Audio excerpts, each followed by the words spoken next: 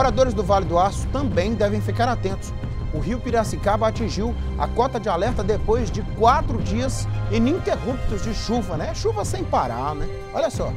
Para falar mais sobre esse assunto, eu vou chamar aqui a Gisele Ferreira. É, Gisele, o rio Piracicaba tá aí naquela cota chamada cota de alerta. A gente também aqui tá na cota de alerta do Rio Doce. O fato é que a, as cheias vão preocupando, né? Boa, boa tarde para você.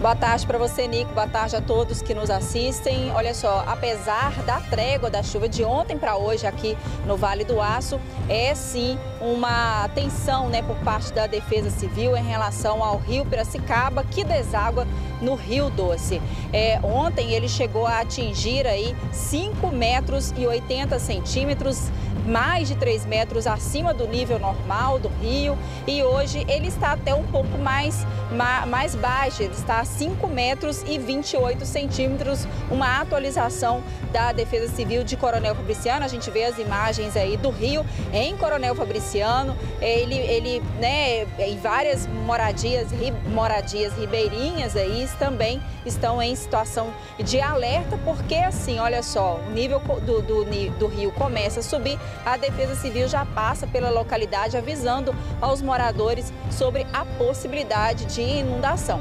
E há sim, Nico, possibilidade de inundação, isso porque a previsão é de chuva ainda. Menos milímetros, menor quantidade, mas ainda há uma previsão aproximada de 35 milímetros até o dia 28 de dezembro. Então a gente vai ter algum, algum volume de chuva aí, a gente só não sabe se essa chuva ela vem de uma vez ou se vai ser espaçada. O que a gente sabe é que deve sim ter atenção redobrada, os moradores devem é, atender né, as orientações aí da Defesa Civil e ficar bastante alerta, viu? Eu volto com você aí, Nico.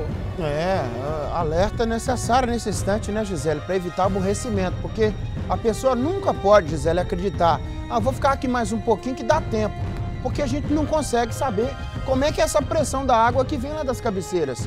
Então o rio pode subir de forma muito abrupta, muito repentina. E aí não dá tempo da pessoa se salvar, né? É, infelizmente as perdas materiais, algumas já estão acontecendo, né?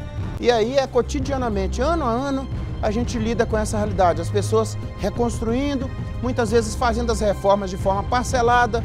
Aí quando chega no próximo ano, vai de novo, aquele mesmo processo, né? É como se fosse um ciclo, um ciclo vicioso relacionado a esse fenômeno da, da natureza, essa cheia das águas, né? É bom ficar atento. Obrigado, viu, Gisele? Você e Rodney Ferreira, fiquem também atentos aí, qualquer novidade, chama a gente aqui no Balanço Geral.